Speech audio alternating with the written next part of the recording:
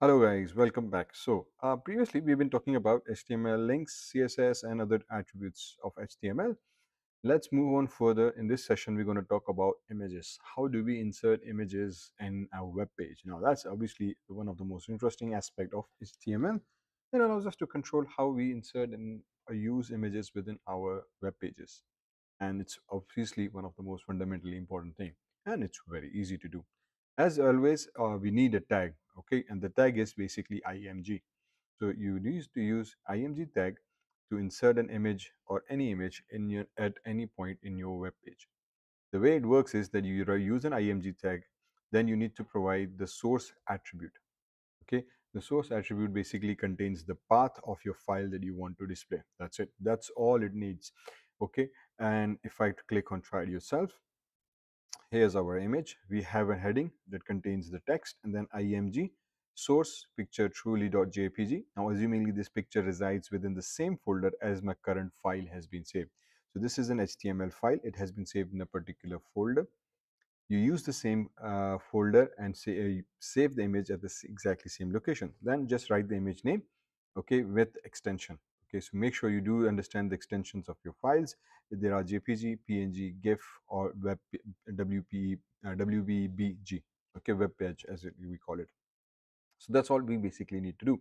Um, certain ad additional metadata we can provide uh, if you want to control the aspects of this image, such as alternative text, uh, which is truly, so that basically means that if somehow image is not loaded or cannot be found, a text will be displayed on that particular image. This alternative text is also used by search engines to find what this image is about. So whenever we do image search, basically uh, this alternative text allows us to you know document that what is this image type and search engines technically look for this thing here to understand what exactly we want okay? So it's always important to write a description or description means in one or two words three words uh, define what your image is about so the search engines can easily find it. Then obviously a self-explanatory width and height of your image in terms of pixels. So this is like 500 pixels and this is 33 pixels in terms of its height and width okay? So this is how we insert an image. The other key important aspect of this image tag is that it has no closing tag. This is one of those rare tags within html like br like hr it image also has no closing tag. It is just there because it's just going to display the image and the image is coming from this src path okay? So it does not require or does not need and it does not have an image closing tag. So do keep this thing in mind. So we basically provide an alternative text which is in other words if this is an image i don't know what this image is about but providing this alternative text allows me to understand how there's a girl in a jacket. So if i click on try it yourself you're looking at the image i can assume that ah, okay this is here. So somebody searching online basically google search engines or other search engines will use this alternative text to find out information about that particular image. So um, how image syntax works again it uses this image tag. It basically it's an empty it contains attributes only. There is no closing tag for this image. That's all that you need to understand okay? Then within this image basically two basic attributes that we specify are source which are the source of your url and then the uh, alternate is basically the description about your image. Now again this is not an important uh, this is not mandatory in other words but it's recommended that you use this alternative text every time you want okay? So this src attribute requires the path of your image okay? By the path means that wherever you have saved your image you provide that path to this image. So src path name okay? And then alternative text. So alternative text attribute again if we talk about this now it requires attributes provide an alternative text for an image, basically meaning that if your image cannot be loaded for any reason, the text will be displayed. So that's one one use of this alternative text. So if path name is corrupt or something, it will show me this alternative text. Second, it also uses uh, it's also used by search engines. So this is one thing that we use. So every time you need to insert an image, that's all it needs to take. So we write an image tag wherever in my text I want to image insert, uh, uh, insert an image, simply write an image tag, src, image name in, within inverted quotations. That's all it takes. Alternative text describing the image. We can use the style attribute. Now we have talked about style in terms of CSS. Again, this is inline CSS. Means that within inline I have provided the CSS and using CSS I can control the width and height of this image. Remember, there is a width and height attribute of HTML as well. You can use that as well. So it basically becomes exactly same. Depends on what you want to do. In the long run, we always recommend, hey, let's use this style. CSS allows us to control more aspects of an image.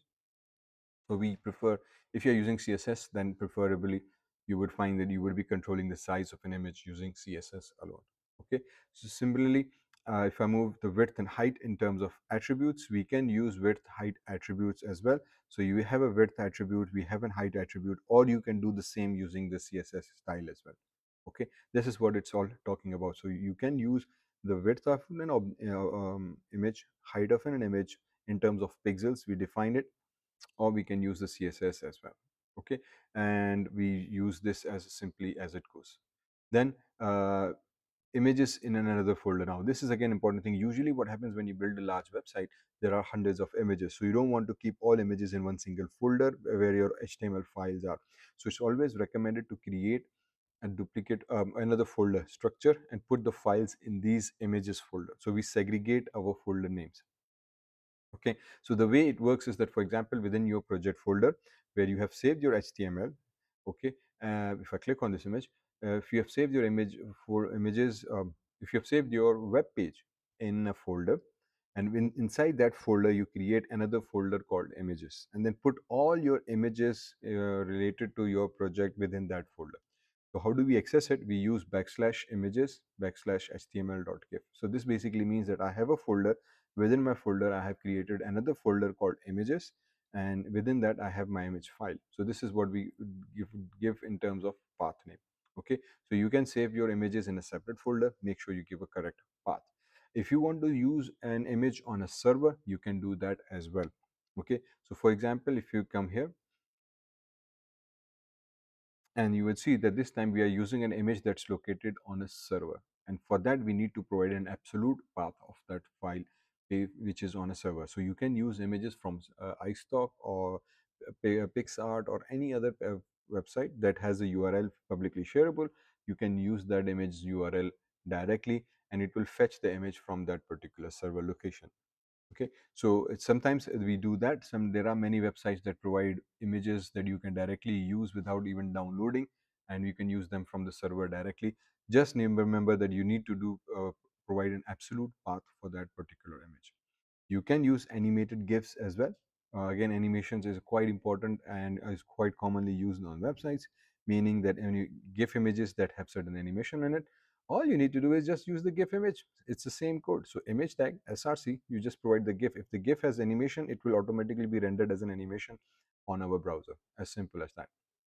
Okay, so you can see this inserting image is absolutely easy peasy. It's very simple and very easy task as long as you use the image tag. You don't have to worry about any other thing within your thing. You can make your image as a hyperlink as well. We have talked about this in last session in links as well. So for example, if I have an image, I can make this as a link. So when I click on it, it loads a particular website. How do we do that? We use an anchor tag. We provide hrefs default ASP or the name of the file that we want to load. Then we come here and we provide image tag. So within image tag, we provide SRC, file name, alternative text, uh, style if you want to do that. Now, because the image tag has been placed between the anchor tags, from starting to closing times. This will now be considered as a link. So the image becomes a hyperlink. So instead of text, we can use an image or icon or GIF or button or anything you want as a link itself. it's a cool way of designing your web pages. Okay, and then so on and so forth. So this basically allows us to understand uh, what images are and how we use images. So every time you need an image, just use an image tag. The file formats that are basically supported by image are uh, APNG, GIF, icon, JPG, PNG, SVG. You can use all of these image files. Okay, so I hope you understand how we use that. It's very simple and very easy to use images, and we can set these images quite uh, conventionally within our websites. Okay, so uh, thank you, and, and hopefully see you in next session now.